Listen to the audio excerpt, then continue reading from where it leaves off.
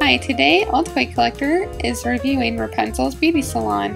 The front of the box shows Maximus, but in small print it says that the horse is sold separately and also that Rapunzel cannot stand alone.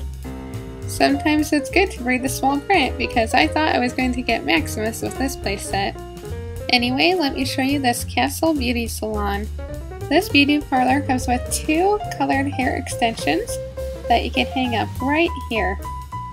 It also has a salon chair where Rapunzel can sit, and then a washing tub where Rapunzel can wash her long hair. You can wash her hair with this bubbly soap and then flip it and wash her hair with this yucky green water.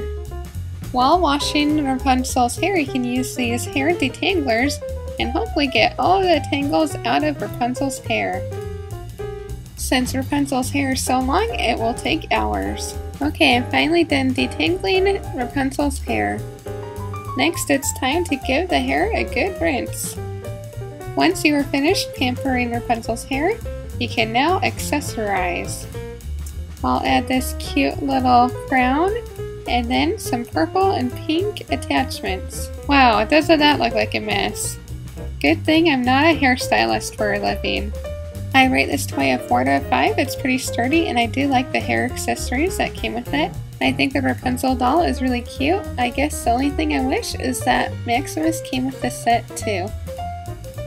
Thanks for watching and please click on the middle of the screen to watch my video where Elsa gets her ears pierced.